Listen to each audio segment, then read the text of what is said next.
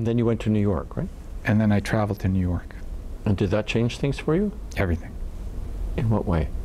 It was a, it was a, it was it was my it felt like it was all my choices.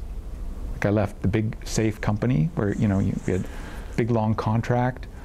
Um, I we were making no money, but um, I was in New York City, incredible space, incredible energy, incredible history, and I was dancing at a uh, really interesting company with an incredible choreographer, and I was doing exciting, innovative work.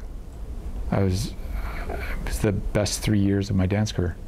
And how did that work? Did you get introductions, or did Michael turn up on the bus terminal at seven o'clock in the morning from the all-night bus and went, "Okay, I'm going to audition," or did someone said, "You know, you should meet so and so, you should meet so and so"?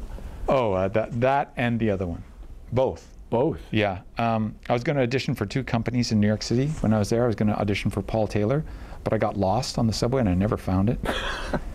and then I had an audition for Eliot Feld, and um, somebody, uh, Karen, uh, Karen Kane actually said to me, uh, "Oh my gosh, Eliot would love you if you auditioned for him." And so I went down and, and I auditioned, and and uh, he was like, you, "You want a job?" I was like, "I would love a job," and I was hired. So yeah, so it was a bit of both. Someone told me about this company, and there was this other company that I heard great things about, uh, but I, I got I got lost. It's easy to do there, and um, I ended up dancing with his company for three years. I met my wife there. And so that time in New York fed you as a dancer, or fed you as an artist, or fed you All of it. All of it. Okay, so I'm going to ask the Canada-U.S. question, and that can be a later subject. But I'm curious. So, from Saskatchewan to Toronto, then to New York.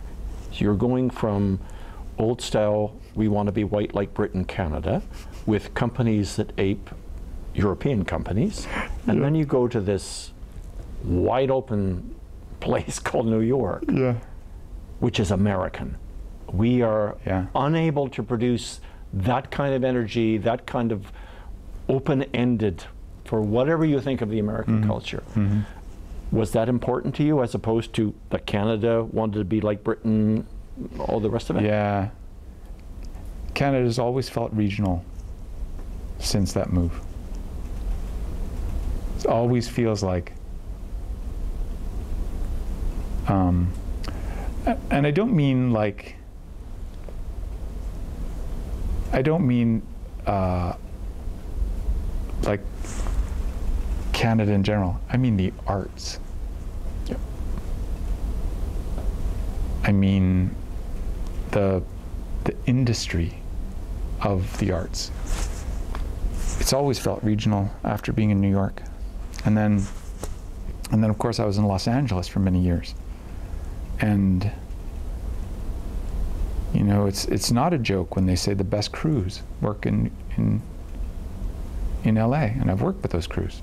I'm like, these guys are the Baryshnikovs of their fields.